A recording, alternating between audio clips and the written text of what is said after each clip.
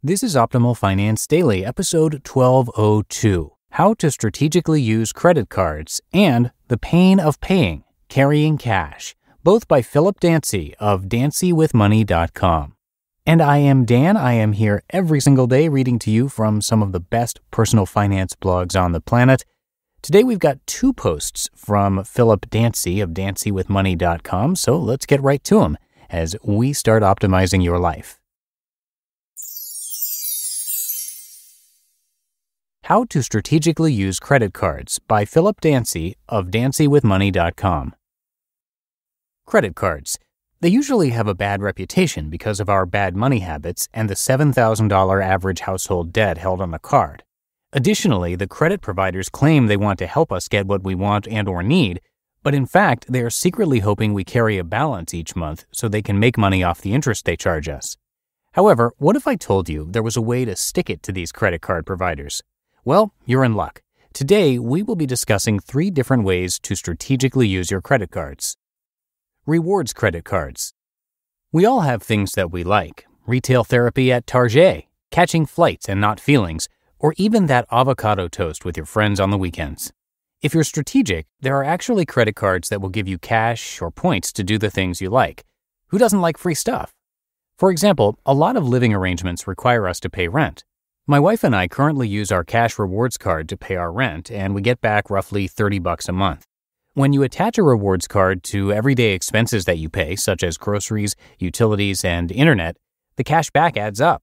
We're talking about hundreds of dollars per year that can be used to either pay for other items or put right back on your credit card bills. For travel cards, it could mean a couple free trips throughout the year. For retail cards, it could mean free retail therapy sessions during the year. Responsible balance transfers. Balance transfers can be a lifesaver for some individuals. Note, emphasis on responsible. A balance transfer is the process of transferring high interest debt from one or more credit cards to another one with a lower interest rate. Using this strategy will help you apply more payments to the principal balance and, in return, eliminate credit card debt faster.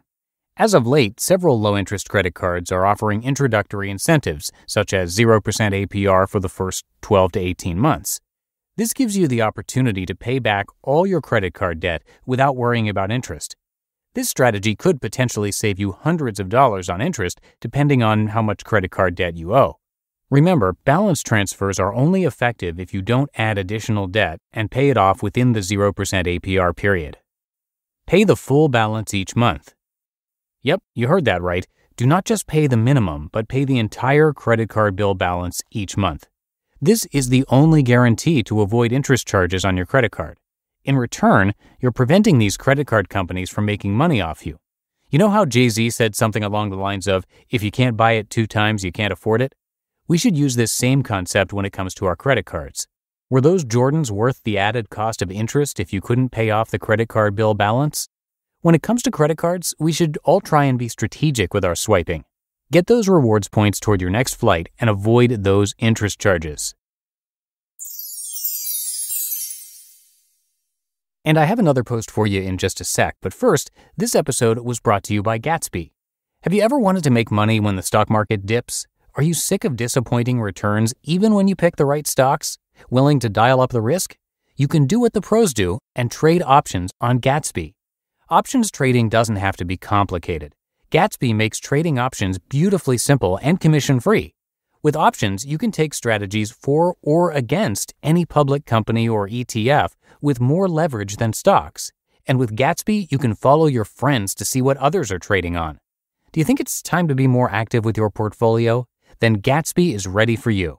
Gatsby is beyond commission free. Customers can earn rewards points with every trade and redeem them for gift cards. Take advantage of our special offer just for our listeners and get your first 2000 rewards points on us by going to trygatsby.com/optimal. Options trading is risky in nature and you can lose all invested capital. Securities are offered through ViewTrade Securities Inc. See trygatsby.com for a full list of disclosures and the complete fee schedule. The Pain of Paying Carrying Cash by Philip Dancy of dancywithmoney.com. Remember that epic weekend you had recently? The one where there were multiple day parties, festivals, or bar hopping? Yeah, that one. At the end of the weekend, we all checked our mobile banking app to discover we spent way more than we anticipated. There are many reasons why this may have occurred, but today I want to introduce a concept that I call the pain of paying and explain why we should all try to start using cash whenever possible. The pain of paying is a concept based on the idea that because some purchases are a little more painful than others, we should try to avoid them. For example, a $200 parking ticket hurts more than paying $200 for shoes. Additionally, even if the price of something is the same, it may hurt more based on if you're using cash versus a credit card. Whether you want to admit it or not, we've all experienced the pain or tried to avoid the pain of paying at one point in time.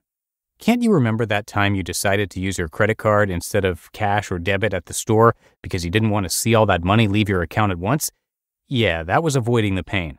Guess what? The reason we feel this way is because the psychological effect of buying something is higher when you physically hand over cash because you instantly feel the impact and notice the money leaving your wallet or purse. With a credit card swipe, we don't usually feel the impact until the next billing cycle or when we actually decide to check our account. The pain of paying concept has led me to try to use cash when I can and encourage the people I help to do the same. I personally use cash for my play money, eating out, and other extracurriculars. And before you ask, there are two main benefits of using cash. Visually seeing your money leave your hand can help with the following it can help you stay within your budget. Once you spend your allocated cash for the weekend or event or category like bar or brunch, it's gone and it can help curb unnecessary spending. When you know you have to make your cash last for a certain period of time, you might cut back on making those 5 or $10 purchases that add up before you know it. How about that daily Starbucks fix that you think you need? Or even that LaCroix sparkling water? I'm personally guilty of this one. Whether it's Starbucks, brunches, or even festivities for the entire weekend, I challenge you to use cash for the next 30 days for some of your expenses. I'm sure you'll see a shift in your spending habits if you stick with it. You just listened to the posts titled How to Strategically Use Credit Cards and The Pain of Paying Carrying Cash, both by Philip Dancy of dancywithmoney.com. Okay, that is it for today. I thank you as always for listening. Hope you have a great rest of your day, and I'll see you back here tomorrow for the Thursday show, where your optimal life awaits.